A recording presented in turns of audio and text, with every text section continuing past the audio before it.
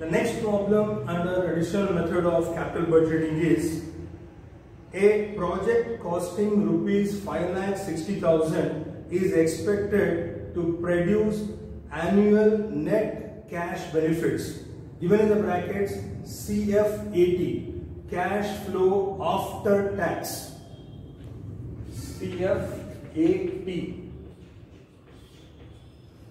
cash flow after tax we can also call it as EAT rupees 80,000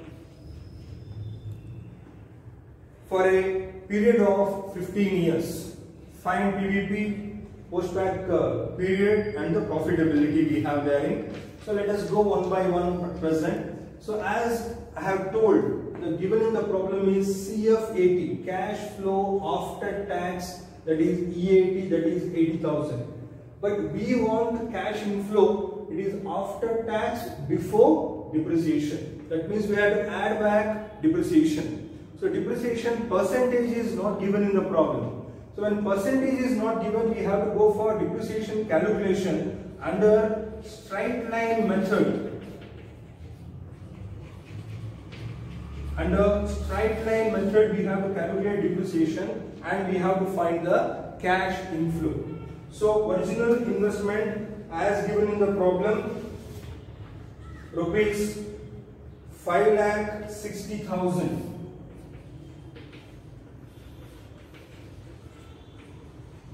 divided by estimated life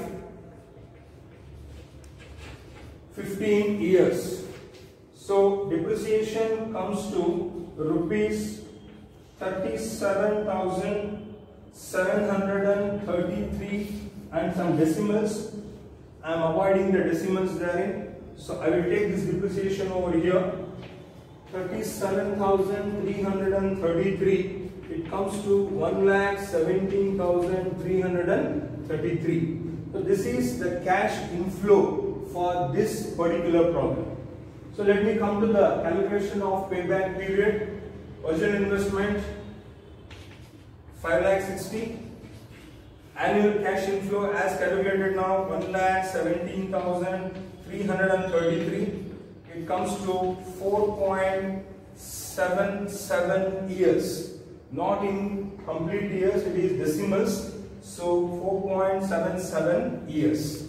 Come to the post payback uh, period as given therein 10 years estimated life sorry 15 years estimated life payback period 4.77 so it comes to 10.23 years. 10.23 years.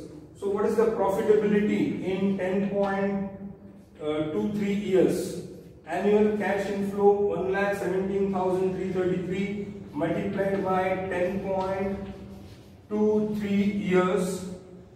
That comes to 12 lakh 317 rupees. 12 lakh 317 rupees. Post payback period profitability